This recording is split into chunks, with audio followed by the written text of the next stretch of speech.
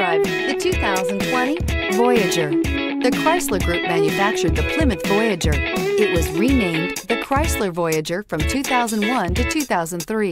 The Voyager minivan is a short wheelbase model to give decent maneuverability in a minivan platform and is priced below $30,000. This vehicle has less than 75,000 miles. Here are some of this vehicle's great options.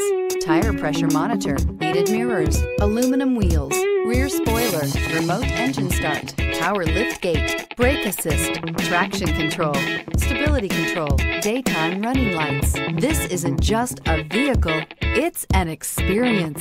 So stop in for a test drive today.